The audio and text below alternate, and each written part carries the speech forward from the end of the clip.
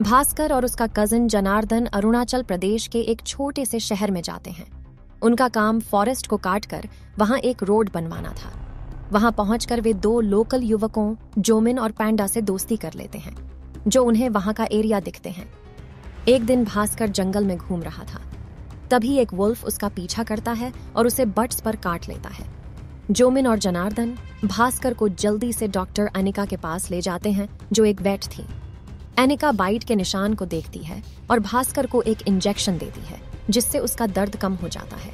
अगले दिन भास्कर को अपने अंदर कुछ चेंजेस महसूस होती है।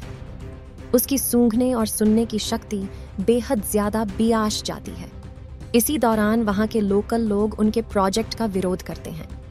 वे जंगल को काटने के खिलाफ थे, लेकिन भास्कर वहाँ के युवाओं को डेवलपमेंट और जॉब्स आदि के बारे में बताता है और उन्हें अपनी साइड कर लेता है। वे प्रोजेक्ट के लिए मान जाते हैं। लेकिन अगले दिन प्रोजेक्ट पर काम करने वाले दो लोग मृत पाए जाते हैं। सब देखते हैं कि उन्हें किसी जानवर ने बुरी तरह से चीर फाड़ डाला था, जिससे उनकी मृत्यु हो गई थी। पैंडा उन्हें बताता है कि यह एक भेष बदलने वाले नर भेड़िए का काम है, लेकिन कोई भी उसकी बात पर यकीन नहीं करता। उधर भास्कर का बर्ताव दिन नव दिन बिगड़ता जा रहा था। जनार्दन को शक होता है कि कहीं भास्कर ही तो नर भेदडिया नहीं था। वह और जोमिन मिलकर चुपके से उसकी पॉटी का सैंपल ले लेते हैं। जब वे टेस्ट करते हैं तो उन्हें उस पॉटी में आदमी की हड्डियाँ मिलती हैं। इससे उन्हें पता चल जाता है कि भास्कर ही लोगों को मार रहा था। भास्कर भी एक्सेप्ट कर लेता है कि कुछ दिनों से वह रात में एक वेयरवॉल्फ में बदल जाता है। उस दौरान वह क्या करता है, उसे कोई होश नहीं रहता। सब लोग कहते हैं कि भास्कर को रात में एक गुप्त जगह ले जाकर बंद कर दिया करेंगे, ताकि वह किसी को मार न सके। वे उसे ले जाने लगते हैं। लेकिन उनकी बातें एक पुलिस वाला सुन लेता है। वह भास्कर को पकड़े डिरा लेता है। वह उसे लोगों के सामने ले जाना चाहता था, ताकि उसकी सच्चाई सबको बता सके।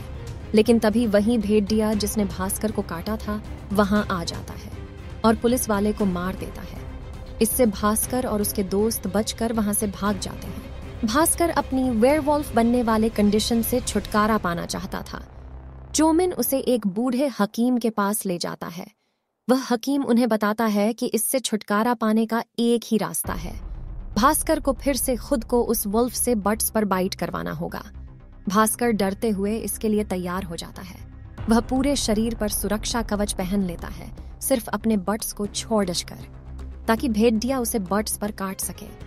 इसके बाद वे सब जंगल चले जाते हैं। पूरा चाँद निकलने पर भेड़िया वहाँ आ जाता है। लेकिन वे देखते हैं वो कोई और नहीं, बल्कि डॉक्टर अनिका थी। वह उन्हें बताती है कि 100 साल पहले उसे भी एक भेड़िए ने काटा था। तब से वह वेयरवुल्फ बन गई और इस जंगल को प्रोटेक्ट करने लगी। शुरू में वह भास्कर को मारना चाहती थी, लेकिन उसके अंदर की अच्छाई को देखकर उसे ज़िंदा छोड़ डॉच दिया था। वह भास्कर से कहती है कि जंगल को न काटे।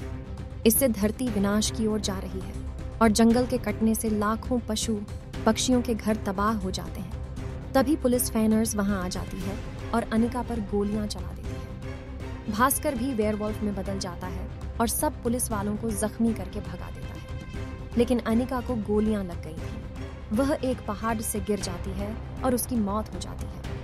इससे भास्कर बहुत दुखी हो जाता है। वह फैसला करता है कि रोड जंगल के बाहर बनाएगा और पेड़ों को नहीं काटेगा। समाप्त। तो दोस्तों, यह थी भेदिया फ़िल्म की पूरी कहानी। भेदिया फ़िल्म स्टोरी, उम्मीद है आपको पसंद आई होगी।